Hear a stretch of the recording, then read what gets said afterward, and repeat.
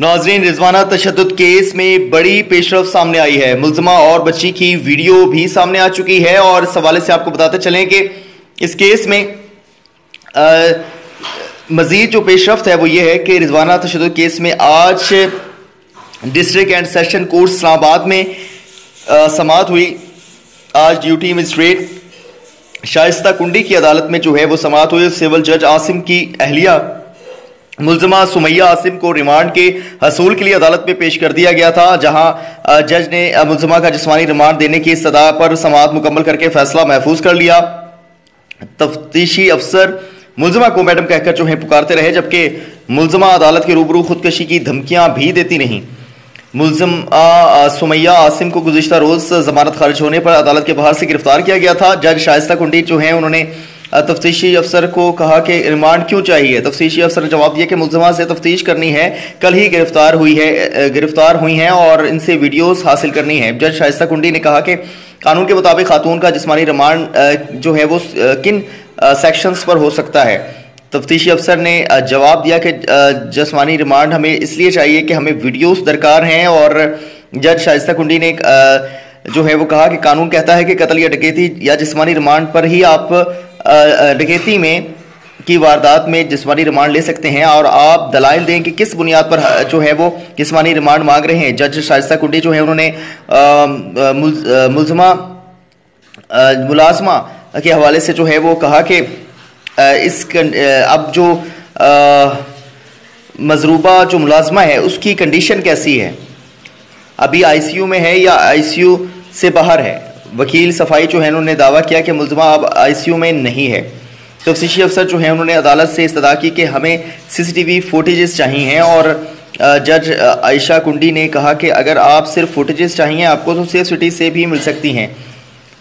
इसके साथ यहाँ पर जो है वो अगर हम बात करें मुलजमा सुमैया के हवाले से तो उन, उनका कहना था कि इस तरह जहनी टार्चर जो है वो मुझे मत में मत रखें, मुलजमा सुमैया ने कहा कि अदालत के सामने रोने लगी और, मरकज़ी मुलजम जो मुलजमा सुमैया आसिम ने बताया कि मुझे रात को ये घर भी लेकर गए, वहाँ से चीज़ें रिकवर भी जो हैं इन्होंने की हैं और जज शाइस्ता कुंडी ने मुलजमा से पूछा कि आप लोगों की तरफ़ से जो पैसे दिए गए, क्या वो घर में मुलाजमत थी? इस सवाल के जवाब में जो मुलजमा हैं वो खामोश रहीं और इनके वकील ने कहा कि हमारे ऊपर इल्ज़ाम है कि कमसन बच्ची हमारी मुलाजमा है। जज शाइस्ता कुंडी ने तफ्तीशी अफसर से कहा कि आपने कहा कि वीडियोस लेनी है तो वो आप जिस्मानी रिमांड के अलावा भी वीडियोस हासिल कर सकते हैं। सीसीटीवी फुटेज वो आप जिस्मानी रिमांड के अलावा भी हासिल कर, की जा सकती है। मैं इस बुनियाद पर जिस्मानी रिमांड नहीं दे सकती। सीसीटीवी फुटेज हासिल करनी है सिर्फ़ इस वजह से तो रिमांड नहीं दिया जा सकता है। मीडिया पर मामला उठा हुआ है। जज शाइस्ता कुंडी ने कहा कि मुलजमा सुमैया आसिम जो हैं, उन्हें बुलाया और दोबारा कहा कि हर तरह का ताउन करने को तैयार हूँ, ये कहना है मुलजमा सुमैया आसिम का। जब बुलाया तो मैं पेश होती रही हूँ और रात को 11 बजे भी पेश होती रही हूँ और मेरे भी तीन बच्चे हैं। मेरे साथ ऐसा जुल्म जो है वो ना किया जाए। उन्होंने रात साढ़े ग्यारह बजे मुझे जो है बुलाकर मेंटल टॉर्चर किया और तफ्तीशी अफसर भी साथ बैठे हुए थे। तफ्तीशी अफसर जो हैं इस पर अज खुद वजाहत की और कहा कि ऐसी कोई बात नहीं है मैडम। अदालत, तफ्तीशी अफसर से सवाल किया कि अदालत अदालत ने तफ्तीशी अफसर सवाल किया कि अगर जुडिशल कर दिया जाए तो आप के केस में कोई फ़र्क तो नहीं पड़ेगा? तफ्तीशी अफसर ने जवाब दिया, बिल्कुल फ़र्क पड़ता है और हमें अपनी तफ्तीश मुकम्मल करनी है। मुलजमा सुमैया आसिम, तफ्तीशी अफसर के इस बयान के साथ ही अदालत में रो कर दिहाइयाँ, दुहाइयाँ जो हैं वो देने लगी और ये दावा करने लगी कि मीडिया हाइप के अलावा खुदा जानता है, इसमें कोई हाथ नहीं है। सुमैया आसिम ने मज़ीद कहा कि मुझे खुदकशी कर लेनी चाहिए और मरकज़ी मुलजिम सुमैया ने अदालत में खुदकशी की धमकी देने के बाद मज़ीद कहा कि वो बच्ची मजरूबा रिजवाना एक ऐसी नेकी थी जो इसकी माँ के कहने पर मेरे गले पड़ी।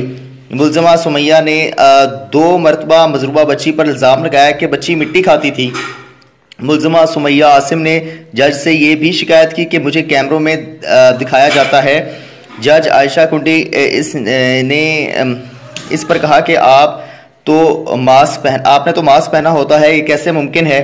अदालत ने मुलजमा सुमैया को इसकी फैमिली से मुलाकात के लिए 10 मिनट का वक्त दे दिया और कहा कि बच्चों से मुलाकात की फुटेज जो है मुमकिन हो तो बना लें। और मुलजमा सुमैया आसिम ने जज से कहा कि मैं अपनी फैमिली से मिलना चाहती हूँ। जज आयशा कुंडी ने इस पर जवाब दिया कि आप हम की हमशीरा तो साथ खड़ी हैं किस से मिलना चाहती हैं? प्रोसिक्यूटर ने जज से कानून के मुताबिक रिमांड से मुतलिक फ़ैसला करने की सतह कर दी। प्रोसिक्यूटर जो हैं, उन्होंने इस्तः की कि कानून जो कहता है, इसकी इसके मुताबिक फ़ैसले पर राज़ी हूँ। सुमैया आसिम जो हैं, उन्होंने दोबारा कहा कि मेरा इतना बुरा मीडिया ट्रायल किया जा रहा है, दिल करता है कि मैं खुदकुशी कर लूँ। इस केस का कोई केस में कोई किरदार मतलब नहीं है, जैसा पेश किया जा रहा है, और मुलजमा सुमैया आसिम के वकील ने कहा कि मीडिया को मना किया जाए कि मुलजमा की वीडियो मत बनाएँ। और अदालत ने कमसन घरेलू मुलाजमा रिजवाना पर इंसानियत सोच तशद की।